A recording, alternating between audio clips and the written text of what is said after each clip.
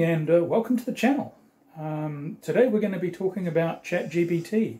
Uh, what is it, uh, what it's capable of, and why you should be interested in it. Um, why should you care about what GPT can do and uh, what, what it's capable of doing at the moment. So the first thing is, what, what is ChatGPT? Um, well, um, like many systems over the last 10 years, uh, it's a neural network uh, like we've had with, uh, say, being able to recognize images or being able to recognize speech, um, being able to create speech. A lot of these applications are based on uh, a technology which is modeled roughly on the brain. Um, so it's using the same kinds of algorithms, it's using the same kind of technology in all of these different applications. In the case of ChatGPT, uh, they've trained the neural network on text.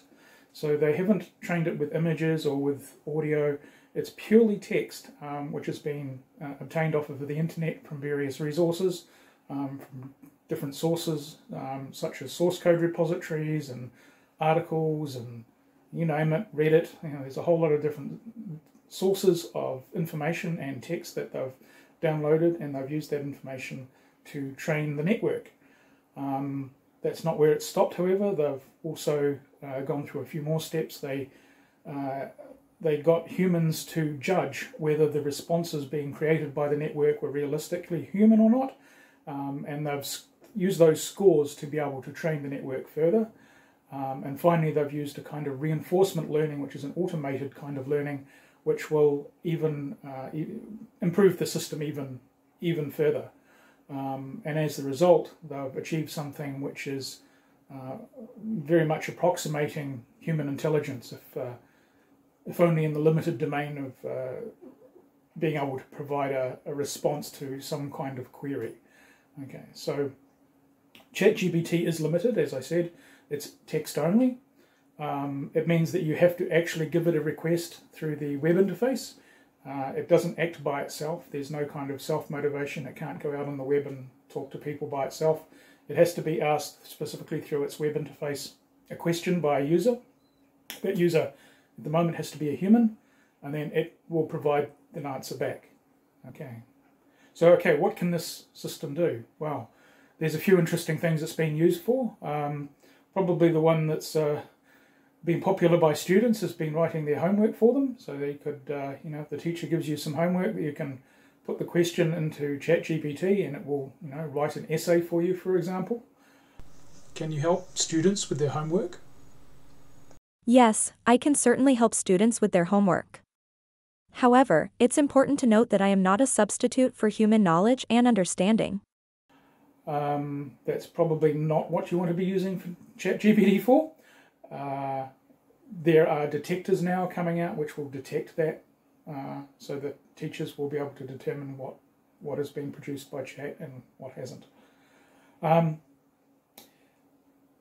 you can potentially diagnose yourself. Obviously, that's not a great idea. You, know, you, want to be going to see a doctor, but it can be quite effective. Um, and I've tried um, doing this just as a test.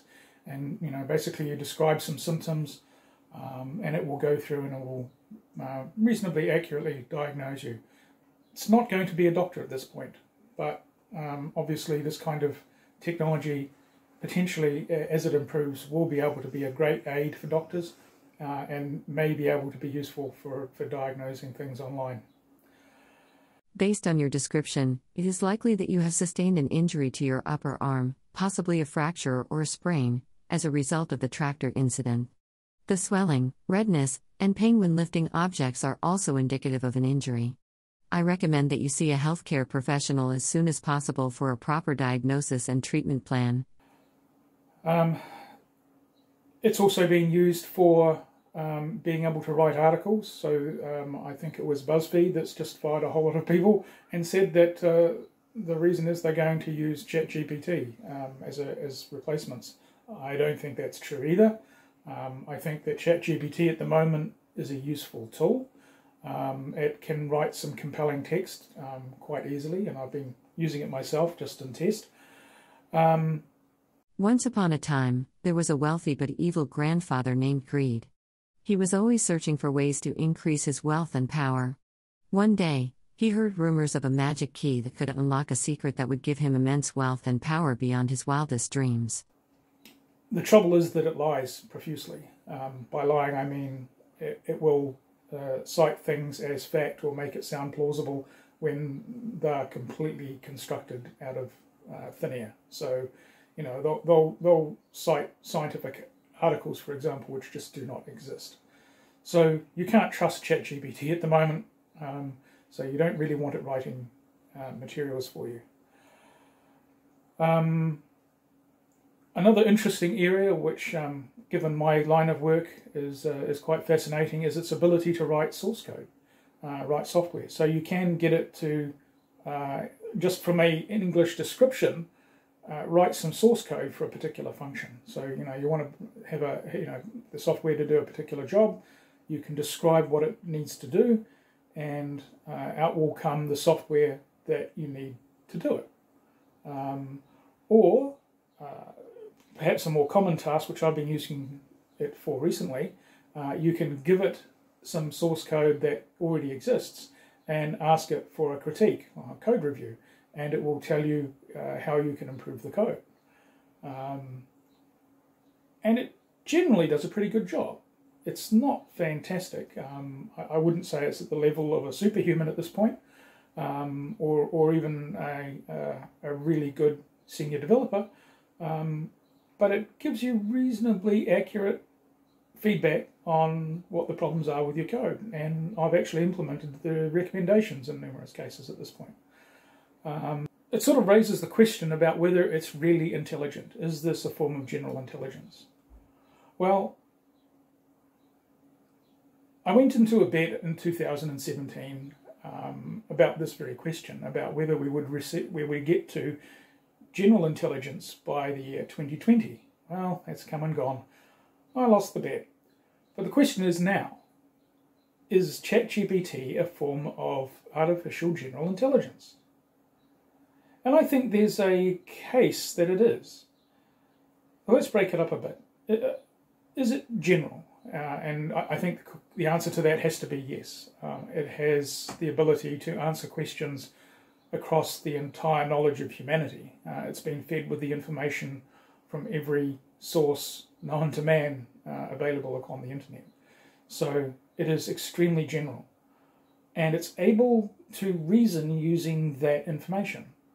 Now, it's not perfect, and as I said, it lies, it, it, it doesn't construct perfect arguments, um, and its concept of the difference between fiction and fact are, uh, shall we say, not ideal. Um, but in terms of being able to create reasoned arguments um, or, or, be able to deduce facts from uh, existing information, it seems to be quite competent and it is unlikely that a World War I triplane would stand much of a chance against a modern Apache helicopter in a hypothetical battle. The Apache helicopter is heavily armed with a variety of weapons systems, including a 30 mm cannon, air to air missiles, and air to ground missiles. It's showing human reason or human level reason to, to some extent, you know, showing the ability to, to take various facts from the natural world and use those to determine some other fact or you know answer some question um, based on what it knows. So it's able to reason based on it, its knowledge. Um, so that's quite remarkable. Um, and I think it qualifies as general intelligence. What it doesn't qualify is conscious. It doesn't have any sense of experience. It doesn't have a continuous experience like we do essentially it simply responds to questions or submissions that are sent to it. It doesn't have any self-awareness. Um, it doesn't have any kind of temporal experience at all. So yeah, it, it doesn't have any of those things, so it's not like us in that regard. Um, therefore, it's not going to take over the world in a hurry. It basically just answers the questions that are provided to it at this point.